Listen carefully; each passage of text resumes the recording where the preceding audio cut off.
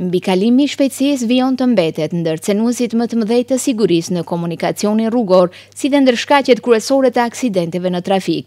Efektivët e policisë të sektorit të punëve të brendshme Tetovë, dje nga ora katërmbëdhjetë deri në orën nëntëmbëdhjetë, kanë kryer aksion kontrollues ku në fokus ka qenë pikërisht shpejtësia me të cilën lëvizin automjetet. Me këtë rast janë shqiptuar gjithsej njëqind e tetë masa, edhe atë gjashtëdhjetë e tetë në Tetovë dhe dyzet në Gostivar. Në kontroll, janë zbuluar dhe sanksionuar edhe gjashtëdhjetë e tre automjete, gjegjësisht shoferë, të cilët kanë tejkaluar shpejtësinë maksimale të lejuar jashtë vendbanimit, kryesisht në autostradën Shkup-Tetovë-Gostivar, nga të cilët katër e tejkaluan shpejtësinë për mbi shtatëdhjetë kilometra në orë më shumë se shpejtësia e lejuar, shtatëmbëdhjetë për. pesëdhjetë deri më shtatëdhjetë kilometra në orë dhe të tjerët bënë tejkalime më të vogla, thuhet në raportin e policisë. Përveç këtyre, janë sanksionuar edhe dyzet e pesë tejkalime të shpejtësisë së lejuar në vendbanime, nga të cilat tre për tridhjetë deri më pesëdhjetë kilometra në orë, si dhe trembëdhjetë lloje të tjera të shkeljeve të trafikut.